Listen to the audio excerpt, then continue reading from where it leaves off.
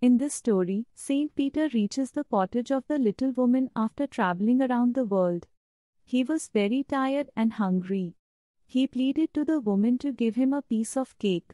The woman was so calculating that she didn't give him the piece of cake she was already having just because she thought it was quite big and costly to give him. So, she baked another smaller and thinner cake for her guest. The greedy woman got so blind in the urge of earning money that she didn't offer this thin cake either, considering it to be too big to offer someone for free. So, she made another attempt and made an extremely ugly wafer out of the very small quantity of dough, which was again too large to give away. Such greed ultimately made Saint Peter angry and disheartened. He was on the verge of fainting due to hunger. Saint Peter asked her to give him one cake, but the little woman's greed and selfishness did not allow her to do so. While baking the smallest and thinnest of cakes, she felt that the cake was too big to give away for free. The behavior of the woman provokes Saint Peter, who curses her and changes her into a woodpecker.